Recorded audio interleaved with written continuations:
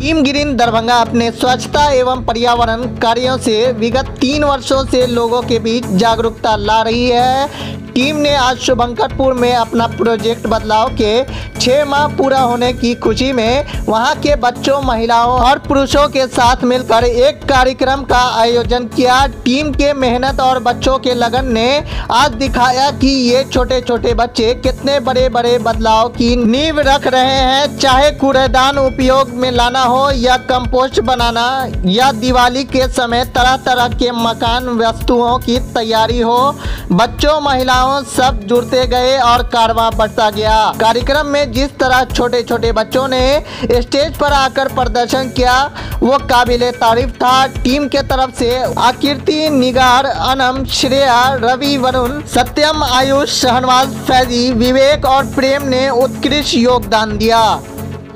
शिक्षा देते हैं हम लोग। हम लोग को बहुत अच्छा लगता है कि आप आते हैं। अच्छे अच्छे ज्ञान हम लोग को देते हैं और और भी बहुत ज्ञान बांटता है। और हम लोग चाहते हैं कि आप आते ही रहे मतलब बंद ना करें। जो मतलब आगे भी आए और आगे भी हम लोग को कुछ नया सिखाए तो हम लोग को अच्छा लगेगा। आप लोग आते हैं, हम लोग को बहुत अच्छा लगता है। उससे भी ज़्यादा हो गए।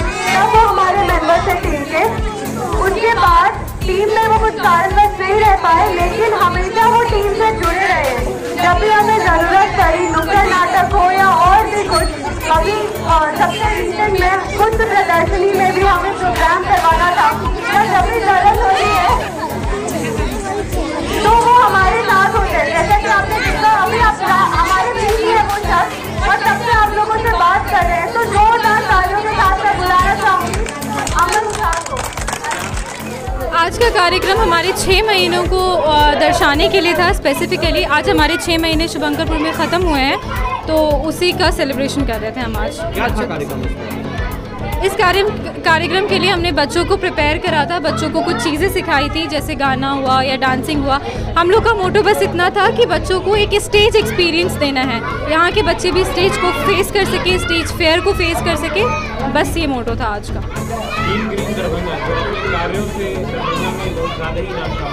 वो आने वाले दिनों में क्या कुछ कर दिखाना चाह अलग अलग तरीके के प्रोग्राम करवा रहे हैं। हमारा उद्देश्य बस दरभंगा में अवेयरनेस फैलाना है और अवेयरनेस वो हर फ़ील्ड में होनी चाहिए जिसमें दरभंगा बेहतर हो सकता है।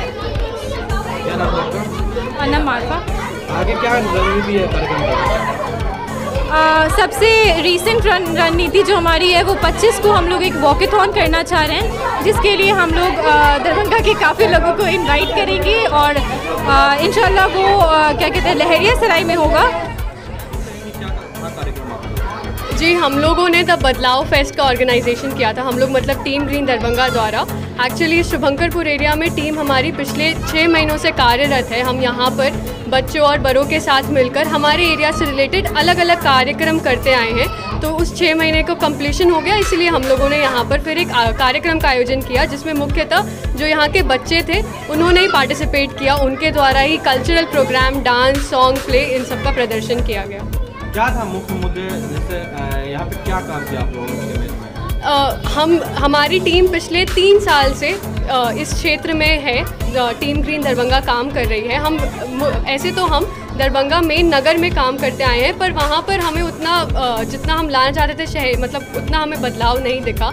इसलिए हमने ये जगह चुना। जैसा कि आप देख सकते हैं, शुभंकरपुर सेमी अर्बन एरिया है। यहाँ के जो लोग हैं, उन वो उतना विकास का उनके पास संसाधन नहीं है। पर एक खास बात यहाँ की है कि ये लोग शहरी जीवन शैली से थोड़े अलग हैं। आप आपस में बहुत जुड़े हुए हैं। इसलिए हम जब यहाँ पर आए, हमने सोचा कि हम इनको वेस्ट मैनेजमेंट और जैसे ये लोग अपना जो कचरा है, वो खुद से मैनेज कर सके। अगर ये लोग घर के बाड़ी में फेंक रहे हैं तो वो डस्टबिन में फेंके, जो कचरा उससे खाद बना सके, पौधे और लगाएँ, इन सब चीज़ों के बारे में हम इन्हें सिखाएँ, समझाएँ, जो बेसिक चीज़ें हैं। इसलिए हम लोगों ने यहाँ पर ये सब मुद्दों को लेकर यहाँ पर काम शुरू किया।